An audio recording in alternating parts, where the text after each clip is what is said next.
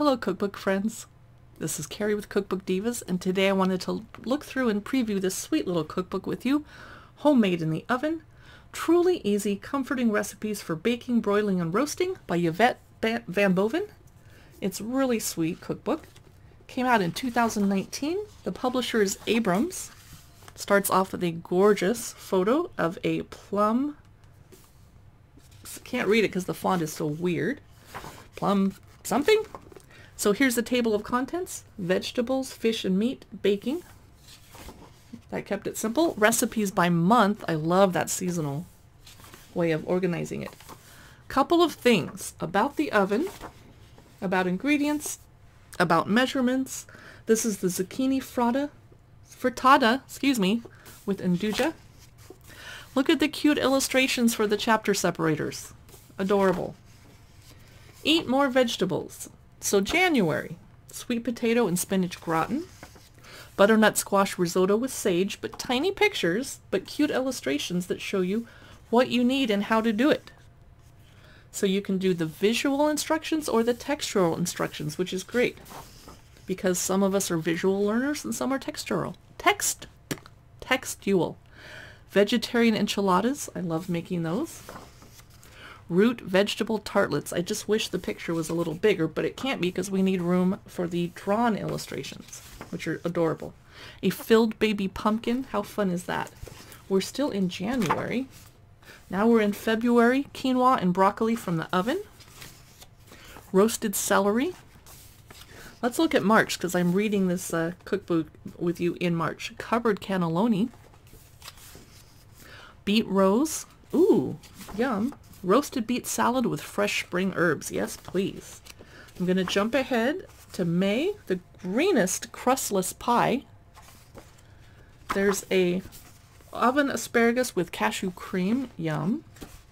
We're in June with a rhubarb beet salad. I don't usually have any rhubarb left in my garden by June. Focaccia with crushed tomatoes. Zucchini with ricotta and lemon. Very summery. Now we're in September when we're all trying to use up our zucchini that we grew. Baked beet steak. We're in November. Mushroom Flammkuchen.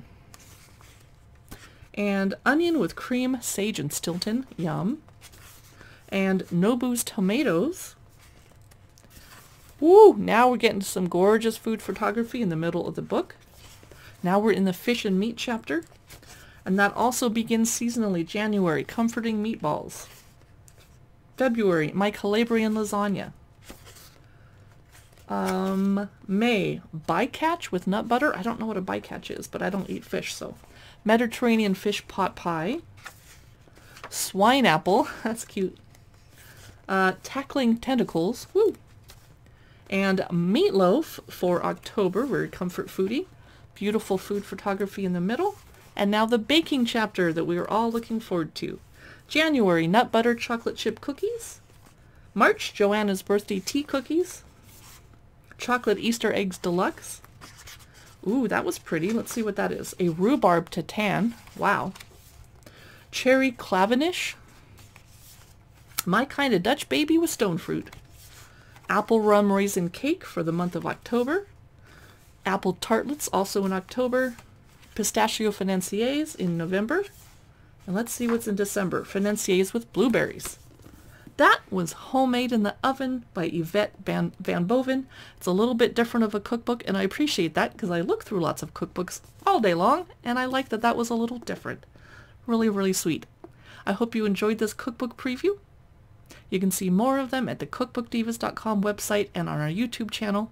We post cookbook news and info to Facebook and Instagram. We have a podcast and we have an Amazon live shopping channel. Hope to see you at one of those places for the next video. Bye.